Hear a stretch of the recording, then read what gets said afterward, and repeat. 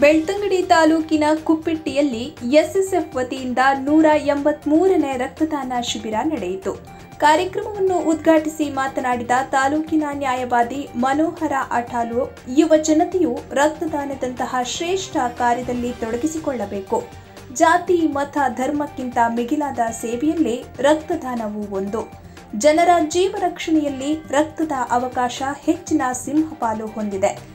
ದೇಶದಲ್ಲಿ ರಕ್ತದ ಕೊರತೆಯಾಗದಂತೆ ಸಕಾಲದಲ್ಲಿ ರೋಗಿಯ ಅವಶ್ಯಕತೆ ಪೂರೈಸುವುದು ನಮ್ಮೆಲ್ಲರ ಜವಾಬ್ದಾರಿ ಎಂದು ಕರೆ ನೀಡಿದರು.